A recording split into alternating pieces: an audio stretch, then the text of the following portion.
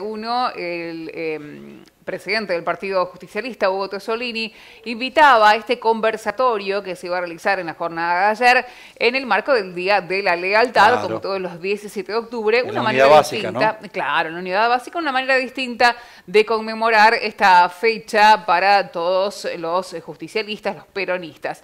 Y bueno, este conversatorio va a estar a cargo del licenciado Alberto Gaitán, que eh, bueno, también tuvo palabras del intendente Gustavo Tevez, del presidente del Partido Justicialista Hugo Tosolini. Bueno, vamos a compartir entonces en primera instancia eh, las palabras del actual presidente del PJ, Brickman. Ahí estamos viendo Hugo Tosolini, que entregaba un presente también al profesor Gaitán. Y después también, obviamente, del actual intendente, el doctor Gustavo Tevez. Resumiendo un poco el tema del Día, del día de la Lealtad, eh, esa gran movilización que hubo el 17 de octubre del 45 a pedir por la liberación, como bien lo decía el Beto, del coronel Perón eh, preso, justamente porque eh, había empezado con estas ideas de los derechos, sobre todo a las clases trabajadoras.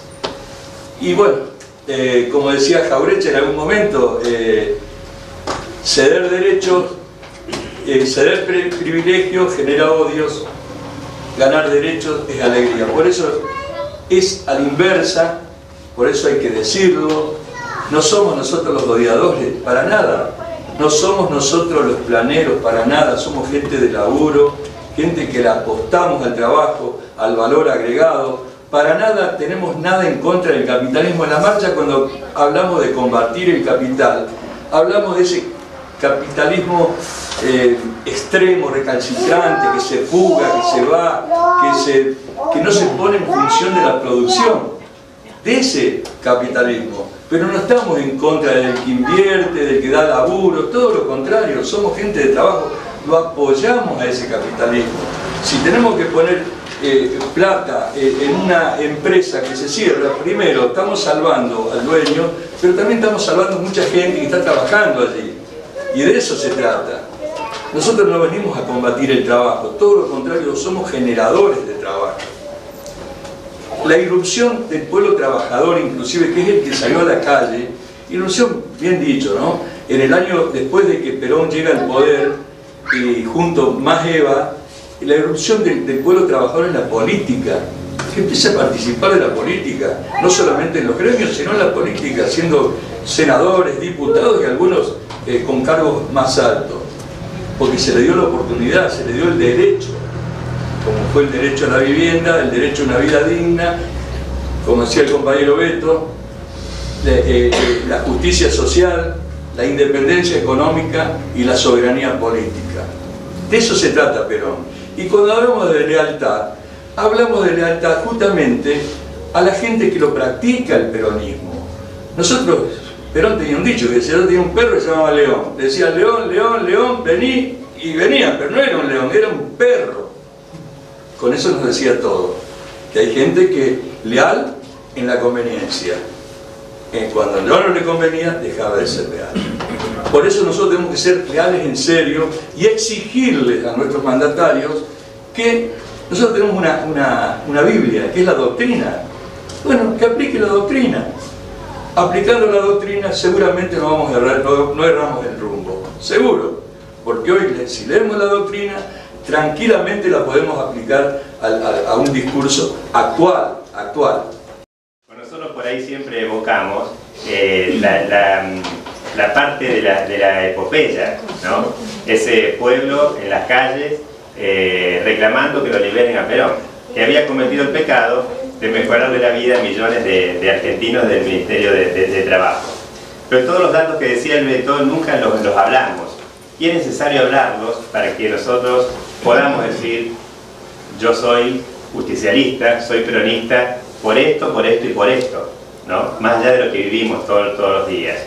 Eh, y, y, esa epopeya de la cual hablamos nosotros, que es esa manifestación del pueblo argentino en la calle, el 17 de octubre, saliendo desde Ensenada y Berizo, eh, caminando kilómetros y kilómetros para llegar a la capital, para llegar a la Plaza de Mayo, eh, fue una manifestación auténtica, ¿no? en donde realmente el pueblo trabajador salió a las calles.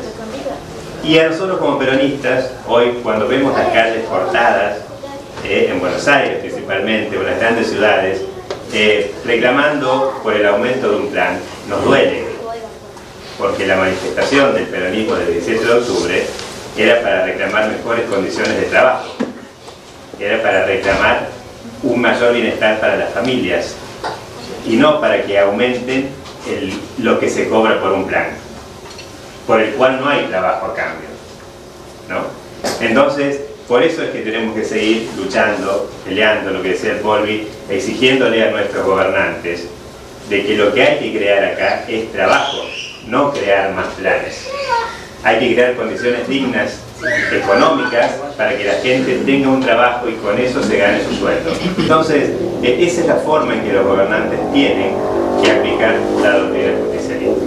Por eso es necesario recordar el 17 de octubre cuál fue el origen y por qué el pueblo salió a las calles ¿eh? a reclamar que liberen a un tipo que había cometido el pecado de mejorarle la vida a millones de argentinos y de comenzar a cambiar la, historia, tomando banderas, como decía el Beto, que muchos socialistas venían reclamando, pero que no tenían la voluntad política ni la fuerza política para llevarla a la práctica.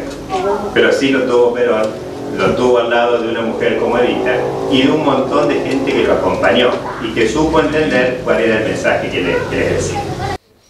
Bueno, así pasó entonces en el día de ayer, el día de la lealtad de peronista, y bueno, el 17 de octubre, con este acto en la unidad básica, compartíamos la palabra de Augusto Salini, presidente del PJ, y también